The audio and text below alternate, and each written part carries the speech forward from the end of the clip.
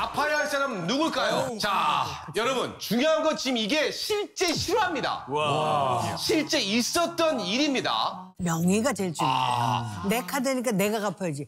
쓴 건 저쪽이 썼는데 어떻게 알아? 법이라는 것도 사람이 만든 거예요. 인륜을 그 재판장이 재판장이 딱 보고 나서 판단을 할 때 네. 이거는 100% 아니 네. 1000% 이거 자식들 니네들이 썼으니까 니네들이 갚아라 이렇게 판결을 내릴 거나 분명합니다. 그 옆에 자식들 좀 보시죠. 어떤 자식? 예, 예, 예, 예, 예. 예.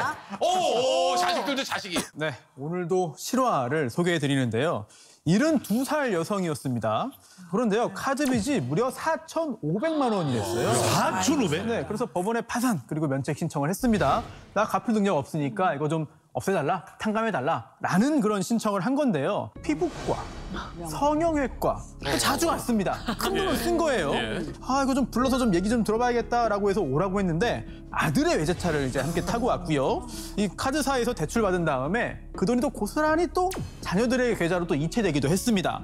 자 결국 이런 이상한 부분들을 추궁하니까 아, 실토한 거죠. 이거 아들하고 딸이 제 카드 썼습니다. 라고 실토를 했고요. 결국은 면책 그리고 파산은 이루어지지 않았습니다. 자, 근데 제가 봤을 때는 안 갚을 생각으로 그냥 막 써 제낀다 그러죠? 맞아, 그런 것 같아요. 막 써 제낀 것 같은데 이 모든 것을 엄마에게 떠넘기는 건 좀 아니지 않나. 그렇죠. 그렇게 네. 해서는 안 되는데 이 파산 면책 신청이 돈이 좀 없고 일정한 직업이 없고 빚을 너무 많이 지고 있어서 갚을 수 없을 때 이제 하는 건데 그러다 보니까 젊은이보다는 노인이 좀 수월합니다. 또 두 번째 이유가 뭐냐 하면 나중에 파산이 되면 경제적으로 뭐 활동을 할 수 없는 불이익이 생깁니다.